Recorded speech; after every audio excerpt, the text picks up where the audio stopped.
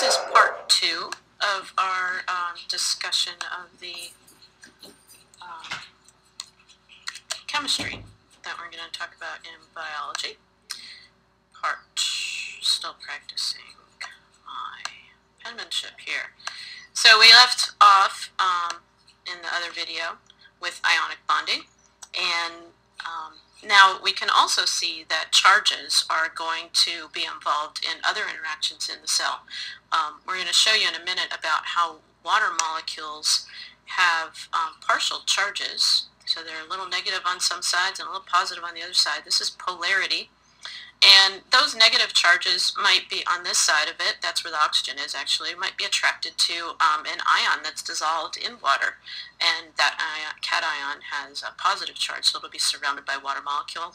Conversely, if you have an anion, in this case it looks like it would have been the chloride ion because it's so big, um, it can be surrounded by the, the positive ends of the water molecule um, to protect that negative charge from the rest of the water molecules.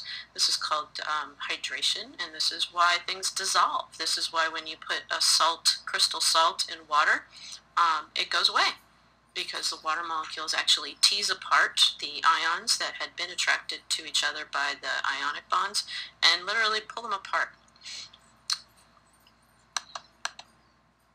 Get this to work here. Sorry, my guess I can turn that off.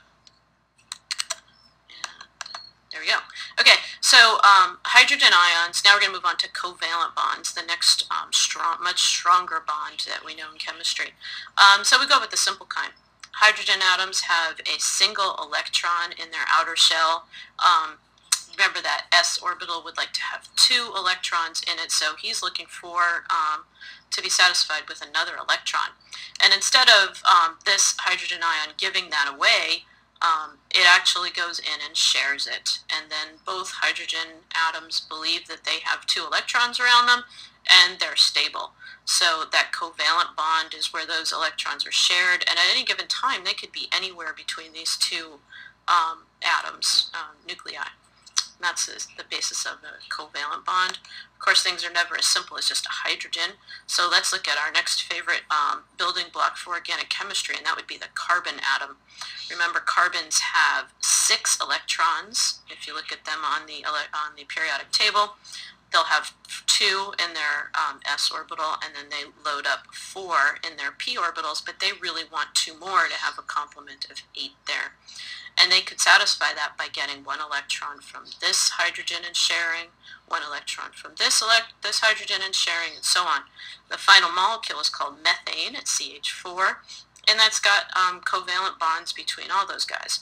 And we don't bother to draw that up all the time, of course, you know that. This would be the way that you're going to see it most of the time, a single line denoting that um, covalent bond between those molecules, or between those atoms to make a molecule.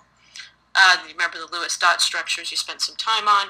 And then um, if you want to get fancy, you can look at what the structure is. In biology, one of the things that you're going to hear over and over and over again is um, structure and function. So this molecule actually fills up space and has a shape, and there you go with that. And that shape is recognized by different um, instruments in the cell, like enzymes that are going to do work with it or um, just other molecules it's going to interact with. So shape becomes very important and covalent bonds in molecules help create the shape of a molecule. There's a lot of different um, elements that are critical for life. These are just a few. Um, and each of these, if you remember on the periodic table, have different levels of electronegativity. Um, Again, they put these up because these are the ones we'll talk most about. Oxygen is very electronegative, meaning it wants the electrons close to it. So it drags electrons closer to it in a covalent bond, making a polar covalent bond because the electrons are actually not shared equally. They share, but they don't share equally. Oxygen's always going to kind of have a little bit more of a negative feel to it. Same thing with nitrogen. We're going to see a lot of nitrogen in our systems, and they um, drag those electrons closer to them.